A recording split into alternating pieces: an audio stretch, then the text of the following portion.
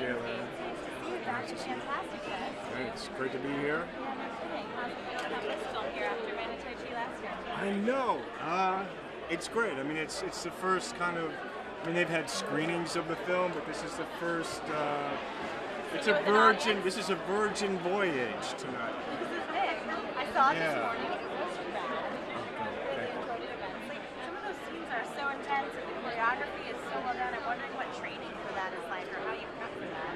Um, yeah, repetition. Uh-huh. Um, we didn't. Yeah, they they uh, yeah I had a lot of gun training.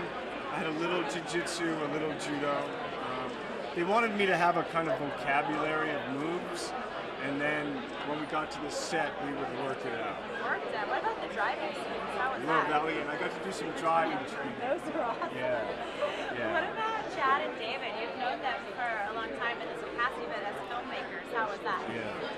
Um, they were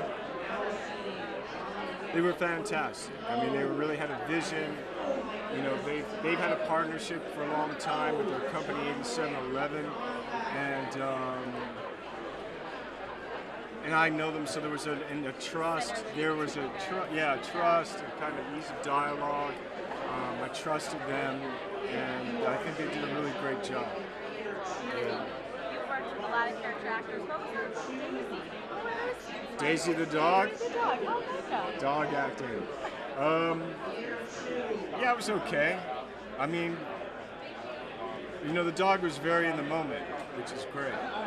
Yeah, and sometimes those moments don't aren't the moments that you're looking for, She's got to work but but you just got to be there.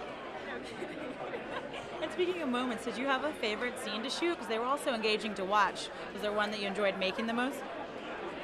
Um,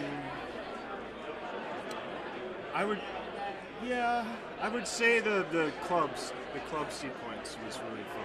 I can imagine. Those were so Yeah, intense. yeah, that was really unleashing the John Wick.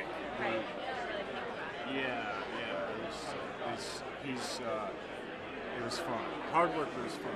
Very, very cool. And seeing the audience for the first, an audience for the first time at Fantastic Fest. Feeling good right now? Yeah, Feel good? yeah, hopefully. awesome. Thank you. Cheers to you.